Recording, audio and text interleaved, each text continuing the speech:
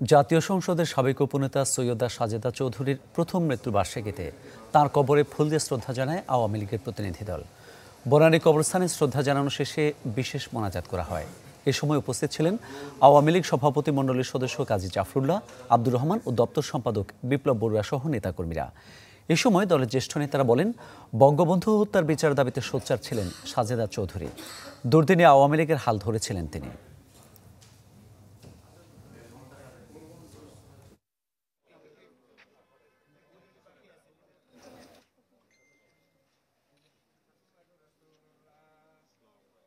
দল যখন অনেক প্রশ্নের মুখে ছিলেন, সেই সময় কিন্তু তিনি একটা বলিষ্ঠ ভূমিকা রেখেছিলেন দলের জন্যে, জাতির জন্যে।